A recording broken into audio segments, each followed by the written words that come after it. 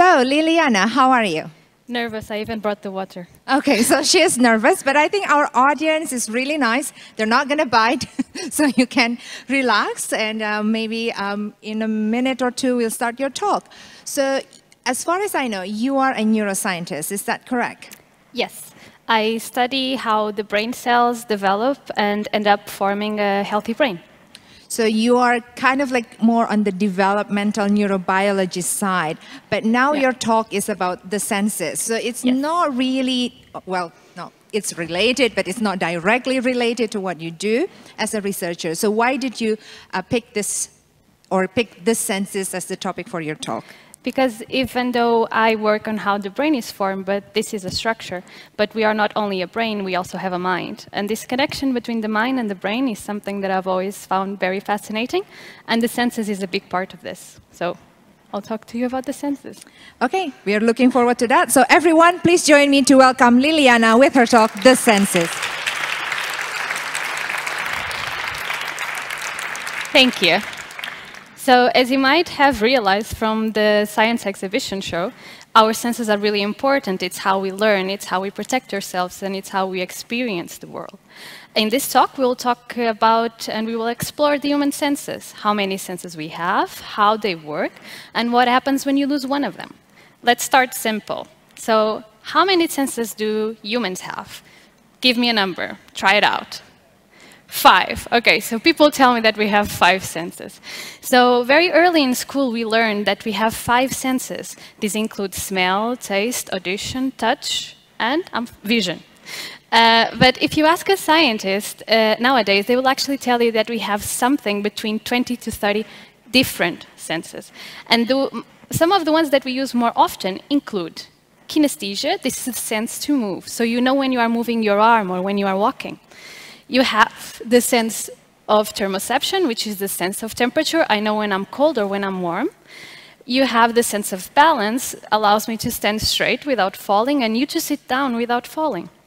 We have the chronoception, which is the sense of time, how much time has passed since I started my talk, for example. And finally, this proprioception. This is the sense of yourself. You always know where your body is in relation to yourself, even if you're not looking.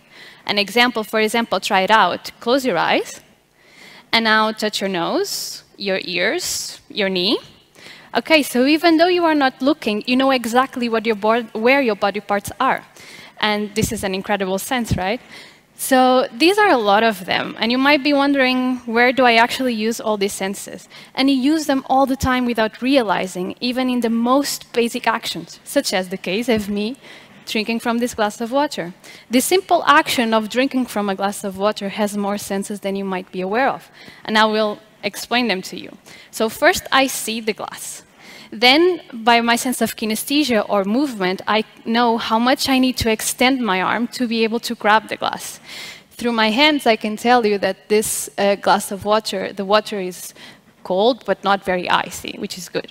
Then, using my sense of balance, I can lift this without spilling the water all over myself. And then, because I know where my mouth is, even though I'm not looking, I can take this glass into my mouth. And I can tell you that this doesn't have bubbles, which is good. I don't like bubbles. So, just in case you were counting, there were five senses, different senses, in just drinking from this glass of water. Okay? So, one of the myths about the senses is that i we use each sense individually. So, I hear a cat, I see the tree, I touch the chair. But actually, all of our senses are working together, as you might have realized from this example of drinking from the glass. You are always using all of them without even realizing. And this is great. Your mind keeps receiving information from uh, the entire world through your senses. And, because your mind is receiving information from all of the senses at the same time, sometimes one sense can actually trick another. And I'll show you three examples of how your senses cooper cooperate with each other and how sometimes they even trick. So let's start with my favorite example of how your eyes have a lot to say about what you hear. In this video, pay attention, look at it, and tell me what do you hear? Do you hear ba or fa? Ba, ba. Raise your hand who hears ba. Ba, raise Ba. your hand who hears fa. Ba. Most of the room hears fa. Now please close your eyes. Listen closely. Do you hear ba or fa? Ba. Ba. Please raise your hand who hears ba. Ba. Ba. Raise your hand who hears fa. Ba. Okay, you are the one out. okay, so depending on whether you have your eyes open or your eyes closed, you hear different things. Most of you. So, and why is this? It's because the way that you speak, the sounds that you make, are completely related to the way that your mouth moves. And in this example is uh, very nice because it shows you that when you are sh shows you that when you are speaking with someone, you are not only listening to them, but your, your vision actually has a lot to say about what you understand when someone is speaking to you. Another great example that I would like to show you and try out with you is your balance. Your balance is uh, it's in close interaction with your eyes.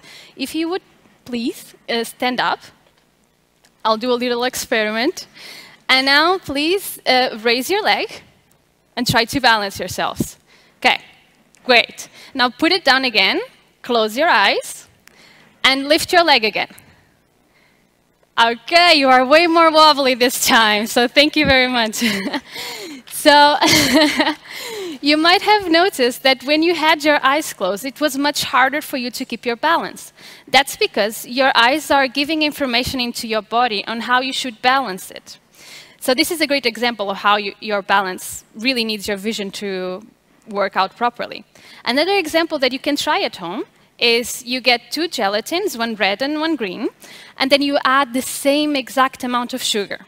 And then you ask people to try them out and tell you which one do they think is sweeter. Most people will tell you that the red one is sweeter. Actually, studies have shown that people will think that the red one is 10 times sweeter than the green one. And why is this? This is because we associate green with sour foods and red with sweeter foods. And so our eyes see red and we expect sweeter stuff, so it tricks our sense of taste. And this interaction between food and uh, between taste and vision is very well known for the food industry, and they will use it to take advantage of you. Uh, next time you go to a supermarket, uh, supermarket, uh, check out their shelves. And you will, if you go, for example, to the sweet product shelf and you take a look, you will realize that most of their products tend to be red and pink, and while light products are pretty much always with a blue label. So hopefully you have realized how your senses are in close collaborating with, uh, collaboration with each other, and that you are always using the information from all of your senses. Well, not using all of it, you are not aware of it, but you are definitely receiving this information. And although this interaction between your senses may sometimes trick you in small ways, it has one enormous advantage. If by any chance you lose one of your senses, all the other ones can compensate for that loss. One of the most famous examples of this compensation is blind people. So it is a well-known fact that blind people have a better hearing sense than we do. And they use it, for example, to echolocate how far away from an object they are. And they do it pretty much like bats do it. So they will emit a sound with their mouth or with their cane, and they will listen closely to the echo, to the wave sound that comes back. And depending on whether this sound is louder or quieter, they will know how far away from an object they are. Now, some blind people uh, learn how to do this naturally, others have to be taught, some of them cannot do it at all. And uh, even the ones that can do it, if you think about it, and uh, the, this blind person is in a very big open space with a lot of people going back and forth, like an airport, then it gets really hard for them to be able to listen to the echo coming back. And this is where science and technology comes in. In the past 50 years, technological advances have allowed scientists to develop new technologies to help improve blind people and deaf people uh, to help them improve their life and with their loss of sense. One such example is the BrainPort device. This is a new technology that allows blind people to see with their tongue. Yeah, I'm not kidding, it's really their tongue. And uh, uh, this, uh, this device can be used for, with children and adults born blind or that became blind later in life due to illness or injury. And how does this work? So this device has a pair of goggles with a camera and a little plastic lollipop that has tiny little electrodes that will give an electric shock into the tongue of the user. It's not torture, it's not painful. People that use this device uh, uh, say that it feels like champagne bubbles in their tongue. And how does this work? So the glasses with the camera, they will record what is happening in front of the person. And then they will transform this image into a black and white pixelated image.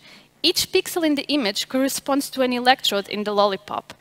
Uh, and brighter pixels have a stronger electric shock, and darker pixels have a weaker electric shock.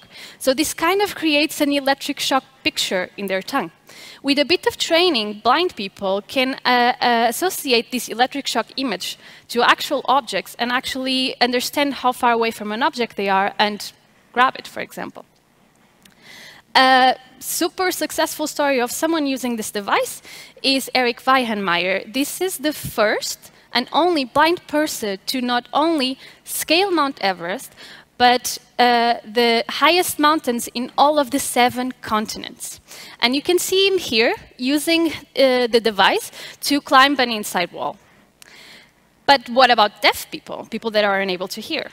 If you uh, pay attention, you will, uh, because we are not uh, taught how to use sign language in school, they have, uh, deaf people have a big problem in communicating with us.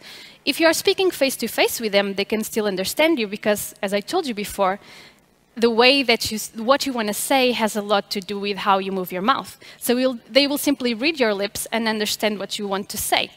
But if there is an announcement in a supermarket or in the U-Bahn or S-Bahn, then it's, they have no way of understanding what has just been said, and they have just lost their train. So this is why scientists have developed a vest that can be worn underneath their clothes. And this vest is equipped with small vibration sensors that are like the ones that you have in your cell phones.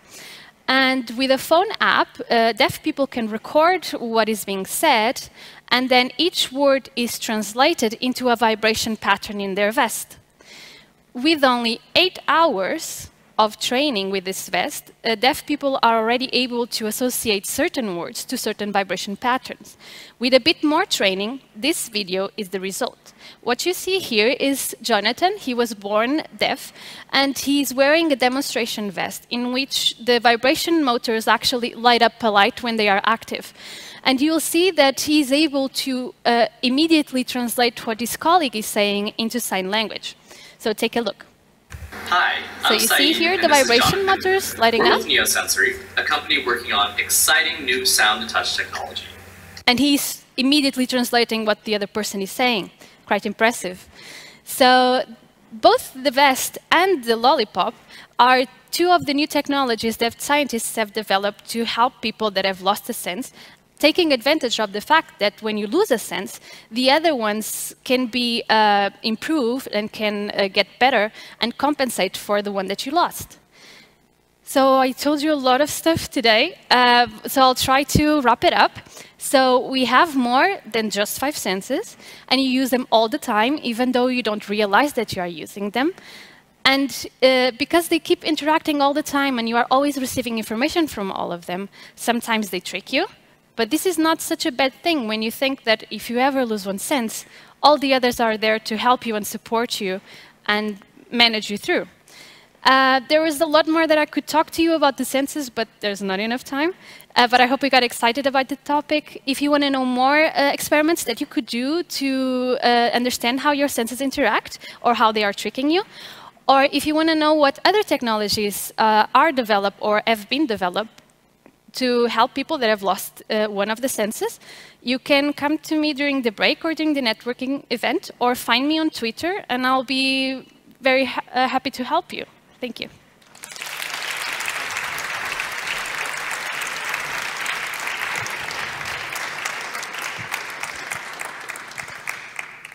Thank you so much, Liliana. Now we have about five minutes for questions. So anyone have any questions? Okay, so Andre, can you please help? Um, hi. So my name is Hi. Aarti and I come from India. I'm here visiting. It was really fascinating. I just have a question from the point of view of applications of the technologies that you just showed us. How expensive is it? Because, you know, in a country like India, if we want to try and buy some of this for people who have lost senses, how feasible would it be and how expensive is it? Okay, so if I may repeat the question, so the question is how expensive are the current technologies that are available? I, uh, so I can actually not tell you about the, uh, uh, the prices in comparison to India, but for example, in the in the Germany, a cochlear device, which is a device to help uh, deaf people, costs around uh, 23,000 euros.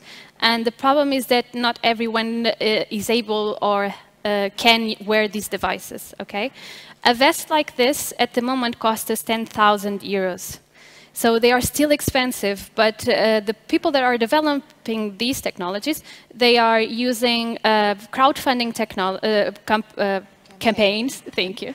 They are using crowdfunding campaigns, and they are hoping that with the advances of, te- of technology, uh, stuff will become cheaper, and they can actually reduce the cost.